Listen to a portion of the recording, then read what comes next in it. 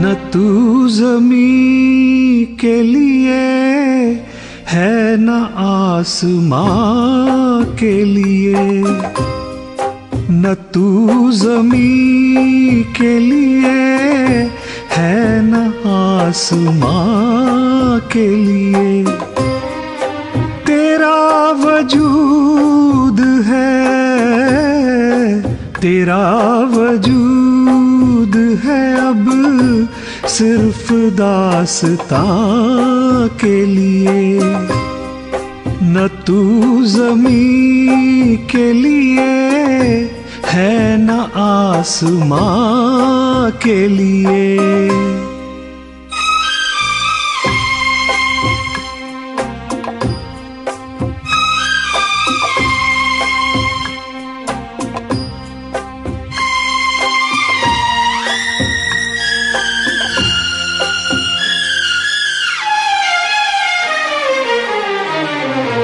पलट के सूए चमन, देखने से क्या होगा? ओ, पलट के सूए चमन, देखने से क्या होगा?